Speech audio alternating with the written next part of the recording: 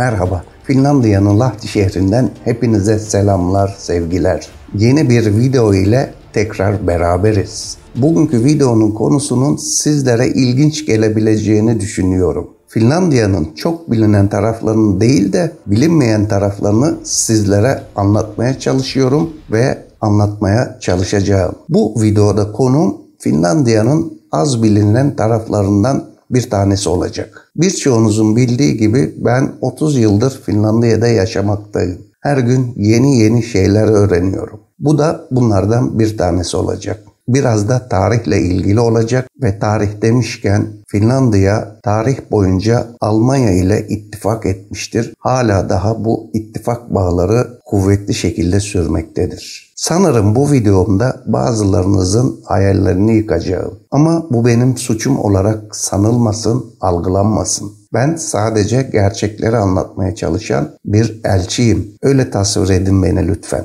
Vaktiniz varsa bu videoyu sonuna kadar izlemenizi tavsiye ederim. Konuya geçmeden önce kanalıma abone olmadıysanız abone olunuz lütfen. Videomu beğenip beğenmediğinizi ilgili butonlara basarak bana iletebilirsiniz. Videomu beğenebilecek arkadaşlara da bu videomu sosyal medyada paylaşabilirsiniz. Ayrıca yorum da yapabilirsiniz. Şimdi konumuza hızlıca geçelim. Videoma soru sorarak başlamak istiyorum. Nazi bayrağını çizenin yıllardır bize ayar vermeye çalışan ülkenin yani İsveç'in bir vatandaşı olduğunu biliyor muydunuz? Finlandiya'nın hava kuvvetlerinin sembolü de gamalı haçtır. Peki bunu biliyor muydunuz? Şimdi size gösteriyorum.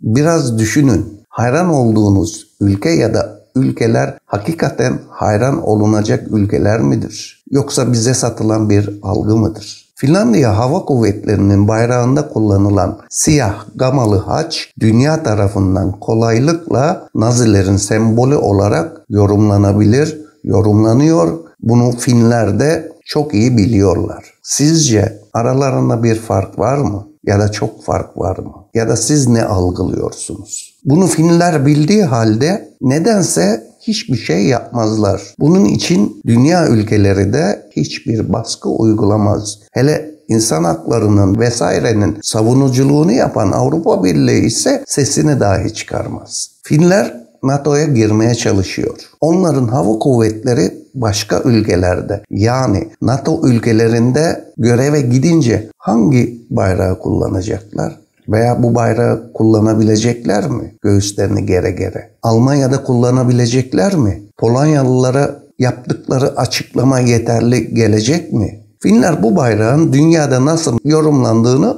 bilmiyor mu? Çok iyi biliyorlar. Peki NATO ülkesi olan Türkiye'ye geldiklerinde nasıl olacak? Biz nasıl yorumlayacağız? Bizler nasıl tepki vereceğiz? Bir Yunanistan bile Makedonya ismi yüzünden Makedonya'nın adını değiştirdi ve Makedonya'yı 15 yıla yakın bekletti NATO üyeliği için. Adamlar ülkelerinin ismini Kuzey Makedonya olarak değiştirmek zorunda kaldı. Türkiye ve diğer NATO ülkeleri sadece bu gamalı haç yüzünden bu ülkenin NATO üyeliğini engelleseler yerden göğe kadar haklı değiller mi? Artı biz teröre sahip çıkmakla suçluyoruz bu ülkeleri. Finler hava kuvvetlerinin eski mavi gamalı haçlarının Hitler Almanyası'nın veya neo-nazilerin amblemi ile aynı olmadığını nasıl anlatacaklarını biliyorlar. Derslerine çalışmışlar. Bunu şimdilik dünya ülkeleri yiyor. Finlandiya Hava Kuvvetleri'nde mavi gamalı haç 1918 ile 1945 yıllarında yani Naziler Almanya'da iktidara gelmeden çok önce uçaklarının ulusal amblemi olarak kullanıldı diyorlar ve bu şekilde açıklıyorlar. Yani Naziler yokken biz vardık diyorlar. Bizim bu amblemimiz vardı diyorlar. Bununla birlikte hava kuvvetlerinde örneğin askerlerin omuz apoletlerinde metalik renkli bir gamalı haç ve hava kuvvetleri okulunun bayrağında siyah bir gamalı haç kullanıyorlar. Nazi Almanyası'nın gamalı haçı da siyahtı. Hangisi Nazi bayrağı siz ayırt edebiliyor musunuz? Ancak beyaz bir dairenin ortasındaki kırmızı bayrağın üzerindeydi ve ucunda duruyordu. Yani ilk bakışta ayırt etmek zordur.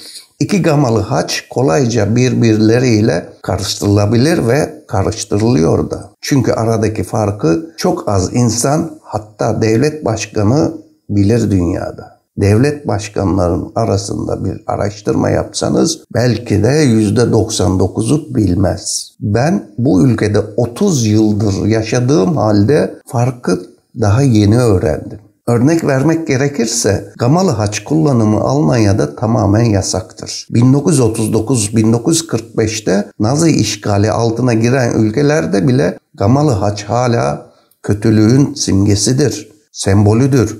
Bunu en iyi Avrupa'da ve Almanya'da yaşayan Türkler bilir. Bazılarının dükkanlarına ve evlerine boya ile gamalı haçlar çizilmiştir. Finler ne kadar bu bayraklarının gamalı haç ile alakası yok deseler de organik bağ var ve bulunmaktadır. Gamalı haç çizil uçağı bağışlayan kişinin kendisi Nazi hareketine katıldı. Amblem 1918 baharında hava kuvvetlerine bu kendilerince açıkladıkları şans amblemiyle, şans getiren amblemle süslenmiş uçak bağışlayan İsveçli kont Erik von Rosen tarafından Finlandiya'ya getirildi. Gamalı haç eski bir Hint sembolüdür ayrıca. Bunu da bir not olarak eklemek isterim. Bu batılılar en iyi bildikleri işi yani hırsızlığı bu semboller konusunda da yapmışlar. Fin sanatçı Akseli Gallen Kallelan birçok eserinde de Gamalı Haç'a rastlanır. Gamalı Haç ayrıca yeni film madalyalarında ve onur nişanlarında da görülüyor görülebilir. Gamalı Haç amblemli uçağı hediye eden bu kişi yani İsveçli Kont Erik von Rosen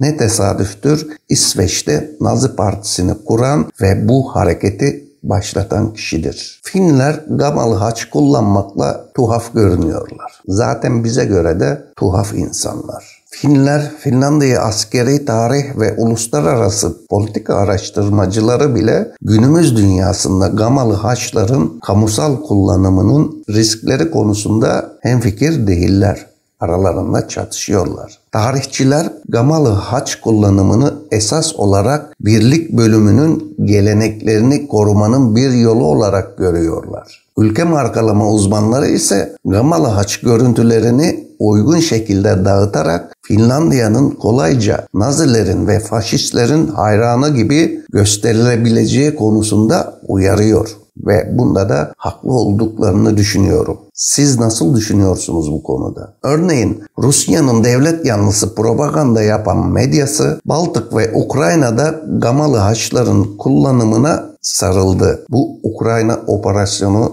başlamasından itibaren. Rusya kendi vatandaşlarına Ukrayna operasyonunda büyük vatanseverlik savaşında yani 2. Dünya Savaşı'nda savaştıkları Nazi ülkeleri ve müttefikleri yani Gamalı Haç devletleri koalisyonu ile karşı karşıya olduğu propagandası yapıyor. Bunda sizce haklı mıdır, değil midir? Bu arada Ruslar Nazilara karşı verdikleri savaşa büyük vatanseverlik savaşı derler. Çünkü Hitler Rusya'ya saldırmıştı. Yani bizim Kurtuluş Savaşımıza benzer bir isim vermişlerdir. Gerçek bir enformasyon yani siber savaş durumunda Finlerin tüm meraklı insanlara Kamalı Haç'ın Hitler'in amblemi ile hiçbir ilgisi olmadığını açıklamak için zamanları olmaz. Finler çok kötü duruma düşebilirler. Finler akıllı insanlarsa bu amblemi değiştirmelidirler. Ve ben Finlerin akıllı insanlar olduğuna inananlardan biriyim ayrıca. Ama bazı Finler bunun değiştirilmesine karşılar. Haklı olabilirler ama dünyada kendilerini savunmakta güçlük çekerler. O zaman bu güçlüklerle karşılaşmaya hazır olmalıdırlar. O yüzden ben bile bu videomu yapmadan önce çok düşündüm çünkü hassas bir konu bu Finlandiya'da. Amblemin değiştirilmesine karşı gelenlerden birisi Finlandiyalı dünya siyaseti profesörü Teivo Teivainen.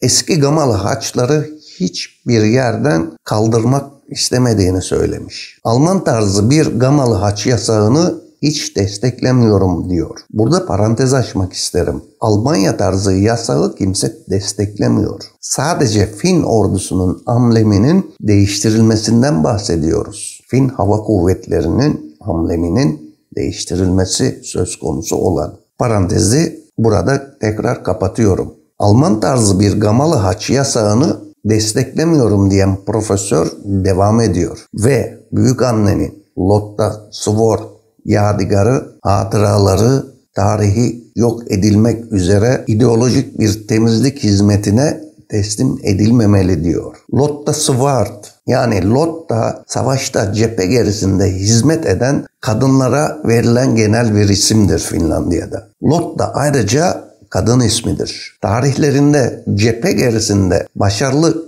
iş çıkaran bir kadından alır. Yani kısaca Finlerin nene hatunudur diye de açıklayabiliriz. Profesör bunlar Fin tarihinin bir parçasıdır ve bu nedenle korunmaya değerdir demiş. Profesöre göre bu eski sembollerin modern siyasette nasıl zararlı ve yanlış bir şekilde Finlerin aleyhine kullanabileceğinin anlatılması daha önemlidir diyor. Böyle durumlarda bunu Finler başarabilirler mi? Destek bulurlarsa elbette. Ama bütün dünyada bunu başaracaklarını zannetmiyorum. Eğer birisi bunları karşılarına alırsa algı yöntemiyle kolaylıkla bunları Nazilerle ilişkilendirebilirler. Bütün dünyaya Finler nasıl anlatacaklar bir algı savaşında, bir siber savaşta, bir medya algı savaşında? İnsanlar gördüğüne inanır, duyduğuna değil. Bu durumda görünen ise gamalı haç. Ayrıca Finler Nazi bayrak işlemeli tekstil ürünleri de satıyorlar internette